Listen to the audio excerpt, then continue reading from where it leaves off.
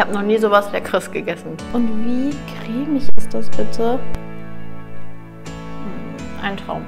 Hey Lieben und ganz herzlich willkommen zu einem neuen Video von mir.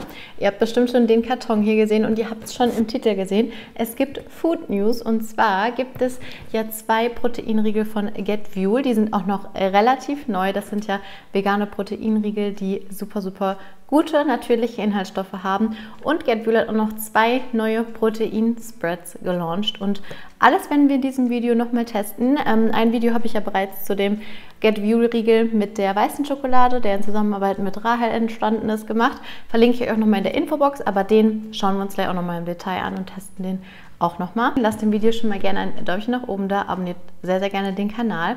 Und dann würde ich sagen, packen wir jetzt mal dieses Paket aus. Also ich habe es euch ja gerade schon gesagt, es geht um die Get Fuel Riegel und vor allem auch um die Get Fuel Protein Spreads. Die sind ja noch relativ neu oder die sind richtig, richtig neu und die Riegel, die sind ja noch relativ neu. Und falls ihr die noch nicht probiert habt, macht das unbedingt mal. Ich habe hier jetzt übrigens eine Mixed Box von den Protein Bars zugeschickt bekommen. Da habt ihr einmal die Riegel mit der dunklen Schokolade und halt auch einmal die Riegel mit der hellen Schokolade drin. Als ich die bestellt hatte damals, wollte ich halt unbedingt am liebsten auch beide bestellen, aber den von äh, Rahel auf jeden, jeden Fall. Und dann habe ich mir halt letztes Mal nur die weißen bestellt. Da gab es die Mixed Box noch nicht und die gibt es halt jetzt, was ich richtig, richtig cool finde. Falls ihr beide halt probieren wollt, könnt ihr das so perfekt machen. Und die dunklen, die haben ja auch nochmal ein ähm, Upgrade bekommen. Also da wurde die Rezeptur nochmal ein bisschen angepasst. Da wurde auf das Feedback eingegangen, was ich richtig cool finde. Und deswegen bin ich umso gespannter, die jetzt gleich auch mal zu probieren. Weil ich fand die mit der weißen Schokolade einfach schon köstlich. Aber wir gucken uns das jetzt gleich nochmal ganz in Ruhe an. Auf jeden Fall sieht das so aus, auch richtig, richtig, richtig, richtig schön. Und dann bin ich so gespannt auf die Protein-Spreads. Letztens auf dem TVO-Event, also auf der FIBO, waren wir auch abends noch zusammen essen, habe ich ganz lange noch mit Rahel gequatscht und da hat sie mir auch von den Spreads vorgeschwärmt. Und hier haben wir Caramel Peanut Crunch und der soll richtig, richtig gut sein. Und ich zeige euch gleich auch nochmal die Zutaten und die ähm, Nährwerte, aber die sind hier auf jeden Fall mega, mega gut. Vor allem, weil halt mit Erythritol gesüßt ist, haben die halt eigentlich kaum Zucker, halt auch noch Protein dabei.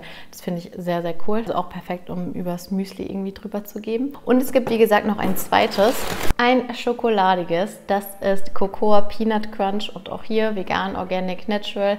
Auch hier ist es ähm, nicht mit normalem Zucker. Und ja, das gucken wir uns jetzt gleich auch an und testen das natürlich. Und so ein Taste-Test-Video macht immer besonders viel Spaß. Ach so, ich habe übrigens netterweise einen ähm, Rabattcode bekommen. Also falls ihr die Sachen auch mal testen wollt, könnt ihr mit GetMarie 10%, 10 Rabatt sparen. Ich packe euch auch einen Link in die Infobox und auch nochmal den Code. Dann könnt ihr da gerne vorbeischauen, falls ihr auch was probieren wollt. Genau, und vielleicht nochmal ganz kurz, bevor ich wirklich direkt mit dem Taste-Test anfange. GetFuel ist ja eine Marke von Linis Spites und falls ihr Lini Spites noch nicht kennt, was ich nicht glaube, aber falls ihr Lini Spites noch nicht kennt, bestellt euch unbedingt mal was. Es gibt so leckere Sachen und es wird halt einfach Wert darauf gelegt, dass es natürliche Zutaten sind, dass es Bio ist und es aber trotzdem auch schmeckt. Ne? Und genau, also falls ihr auch zum Beispiel die Linis Pralinis noch nicht kennt oder auch die Lini Spreads, oh, es ist einfach so, so lecker. Ich glaube, wir fangen mit den Riegeln an. Ich bin da nämlich so, so gespannt und dann heben wir uns die Spreads noch fürs ähm, Ende auf. Und ich fange auch, glaube ich, dann direkt mal mit dem Schokoladigen an, also mit dem Crispy Dark Choc High Protein Bar. Den kenne ich ja selber noch nicht. Und schreibt mir auf jeden Fall mal in die Kommentare, falls ihr die schon getestet habt, wie ihr die findet. Und ähm, was wir halt sonst mal vielleicht noch im nächsten Videos testen sollen, weil so Food News Videos, Food-Test-Videos finde ich immer richtig spannend, gucke ich mir super, super gerne immer an. Ähm, bevor ich mir vor allem auch manchmal selber Sachen kaufe, gucke ich erstmal, hm, wird das gut sein oder ne? Aber meistens ja, macht es natürlich auch immer Sinn, sich nochmal selbst ein Feedback einzuholen, aber vielleicht erfährt man ja auch schon irgendwas, wo man sich schon denkt, nee, das wird mir nicht schmecken oder so. Auf jeden Fall haben wir hier einen veganen Bioproteinriegel mit Sonnenblumenprotein, Crispies, Schokoladentropfen und Zartbitter-Schokoladenüberzug. 198 Kalorien pro kompletten Riegel und 11 Gramm Eiweiß und halt wirklich nur natürliche Inhaltsstoffe, was ich richtig, richtig cool finde. Und so werden das auch die meisten Leute vertragen. So sieht der Riegel auf jeden Fall aus. Richtig schön mit Schokolade überzogen. Und jetzt schneide ich den auch einmal an. Und dann sieht er von innen so aus. Richtig lecker. Man sieht auch so schön die Crispy-Stücke. Und es ist ja immer schön, wenn es schon lecker aussieht, aber es muss ja auch lecker schmecken. Deswegen bin ich jetzt super gespannt. Es riecht schon mega, mega schokoladig. Mm. Der schmeckt so lecker. Ich bin ein absoluter Zartbitter-Schokoladen-Fan. Und man schmeckt hier überhaupt nicht, dass es ein Proteinriegel ist. Die Schokolade ist genau so dieses leicht bittere, was ich an Zartbitterschokolade liebe. Die Konsistenz ist der absolute Hammer. Leute, ich würde auf jeden Fall 10 von 10 Punkten geben. Das schmeckt mir gerade so gut. Mmh. Ich bin wirklich sprachlos. Was für ein leckerer Riegel. Also wenn ihr Zartbitterschokolade, dunkle Schokolade mögt, werdet ihr den lieben. Und der schmeckt überhaupt nicht nach Proteinriegel. Also nicht ansatzweise diese Konsistenz, falls ihr vielleicht auch nicht vegane Proteinriegel kennt. Haben die ja manchmal so eine babschige Konsistenz. Ist hier gar nicht so. Also der ist wirklich super, super lecker. Ich mache mir noch ein Stück ab. Mm. Wow. Also kann ich euch empfehlen. Dann machen wir auch schon weiter mit dem hellen. Den habe ich ja wie gesagt schon mal getestet, aber vielleicht hat der eine oder andere von euch das Video noch nicht gesehen. Deswegen machen wir das jetzt nochmal zusammen. Und das ist der Peanut White Choc High Protein Bar in Zusammenarbeit mit Rahel halt eben. Die hatte die Idee dazu. Und was daran besonders toll ist, es handelt sich einfach um einen veganen Proteinriegel mit weißer Schokolade und korrigiert mich. Aber ich meine, ich kenne keinen veganen Proteinriegel mit weißer Schokolade, der so tolle Zutaten hat. Also ich weiß gerade gar nicht, ob es überhaupt einen gibt, egal ob der dann gute Zutaten hat oder nicht. Aber ne, schreibt mir das auf jeden Fall sonst gerne mal in die Kommentare. Aber dann auch noch einer mit weißer Schokolade, der so gute Werte hat. Und auch hier blende ich euch natürlich einmal die Inhaltsstoffe ein. Und das ist halt eben ein veganer Bioproteinriegel mit Erdnüssen und Sonnenblumenprotein, Crispies und weißer Kakaobutter Zubereitung. Es ist wieder vegan, es ist ähm, organic, natural und ich weiß ja schon, dass mir der Riegel super, super gut schmeckt und jetzt bin ich nochmal umso glücklicher, dass ich ihn wieder zu Hause habe. Daniel hatte auch schon gesagt, dass er den nachher unbedingt, wenn ich das Video gedreht habe, auch wieder probieren möchte. Und so sieht der von innen aus. Und auch hier sieht man wieder die schöne Schokoschicht und dann sieht man hier sogar noch so ein paar Erdnussstückchen und dann die Crispies und die Schoko Schoki außenrum. Und der riecht auch schon richtig lecker nach Erdnuss. Hm. Und geschmacklich ist der einfach top. Diese weiße Schokolade, die schmilzt sofort im Mund, wenn man da drauf beißt und es schmeckt halt so nach Erdnuss dabei. Ganz anders dann in dem Fall als der dunkle. Hm. Süßlicher natürlich, weil es weiße Schoki ist. Aber beide auf die eigene Art und Weise top. Wirklich so gut gemacht. Wenn ihr helle und dunkle Schoki mögt, dann bestellt euch auf jeden Fall die Mixed Box und probiert die mal. Mhm. Wir haben bei dem mit weißer Schoki sogar 13 Gramm Protein pro Riegel und 202 Kalorien. Also da sind die eigentlich beide gleich. Es ist so lecker. Mhm. Und könnt ihr die jetzt so aufessen. Beide. Mhm. Ein Traum. So, und jetzt haben wir die beiden Proteinriegel getestet und umso gespannter bin ich jetzt natürlich auch auf die Protein-Spreads. Da haben wir einmal Cocoa Peanut Crunch. Ich glaube, ich werde damit anfangen. Und dann haben wir den Caramel Peanut Crunch Protein Spread. Die sehen beide einmal so aus. Ach, die sehen so schon. Also das Design ist übrigens auch mega schön und die sehen so, so lecker schon aus. Und auch die sind natürlich vegan, organic und natural.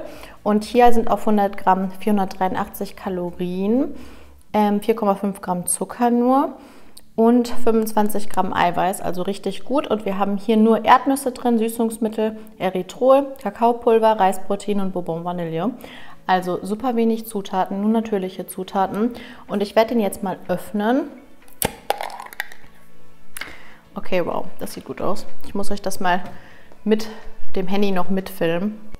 Das sieht so so lecker aus. Ich zeige euch das jetzt gleich auch mal in der Kamera, in der Nahaufnahme, aber ich mache das hier gerade im Video. Und es ist einfach, diese Stückchen da drin, ist, die Konsistenz ist wirklich wie so ein Nutella. Schaut mal, das sieht so gut aus. Da sieht man richtig die Stückchen drin. Und die Konsistenz ist so cremig. Also ich glaube, das kann man sich auch richtig gut auf einen Pancake schmieren, übers Frühstück geben oder aufs Brötchen. Und oh, es riecht schon so gut. Ich probiere jetzt einfach mal hier den ganzen Löffel. Mm, mm. Das schmeckt so lecker. Mm. Ich wünschte, ihr könntet das probieren. Das sieht nicht nur aus und riecht wie Rocher, und schmeckt auch wirklich so. Dieses, kennt ihr das, wenn ihr in eine Rocher beißt und dann so dieses Flüssige drin, ne? Genauso schmeckt einfach dieser Spread. Und dann, dass es auch noch gesunde Zutaten hat, ihr müsst das probieren. Da geht kein Weg dran vorbei. Auch eine absolute 10 von 10, 12 von 10. Dann gucken wir uns jetzt auch noch Caramel Peanut Crunch an. Ich komme, oh, hier, schaut mal. Ich komme immer noch nicht drauf klar, wie lecker das gerade war. Und hier das Glas auch schon so voll. Guckt euch das mal an. Das ist doch nicht normal. Wie gut sieht das aus und wie cremig ist das bitte? Schaut euch das an. Das ist, das kann doch nicht echt sein. Also diese Cremigkeit, das muss man erstmal hinbekommen. Mm, mm, mm, mm. Leute, ich habe noch nie so was Leckeres gegessen. Mm. Ich versuche gerade zu überlegen, was ich sagen kann, wie das schmeckt, damit ihr euch das vorstellen könnt. Und mir fällt gerade nicht ein, woran mich das erinnert, aber das erinnert mich an irgendeine Süßigkeit. Das ist eine 20 von 10. Mmh.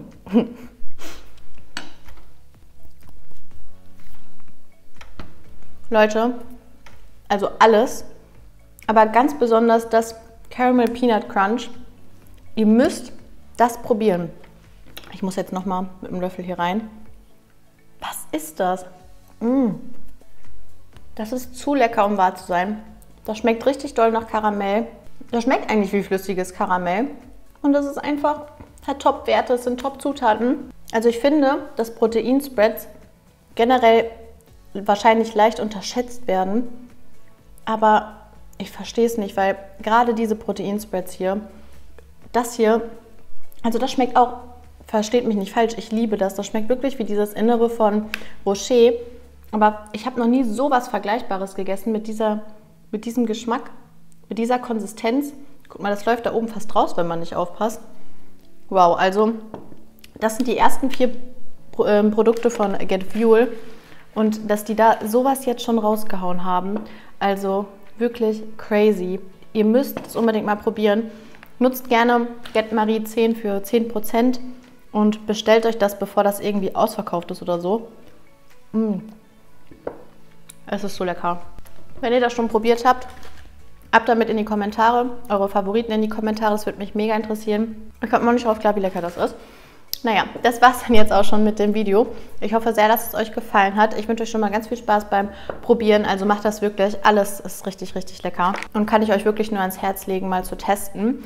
Und ja, dann sage ich schon mal Danke fürs Zuschauen. Vergesst bitte nicht ein Däumchen nach oben zu geben, wenn euch das Video gefallen hat. Lasst mich gerne wissen, was wir als nächstes testen sollen. Schreibt mir einfach die Produkte unten in die Kommentare. Und dann würde ich sagen, danke fürs Zuschauen und bis zum nächsten Mal. Tschüss!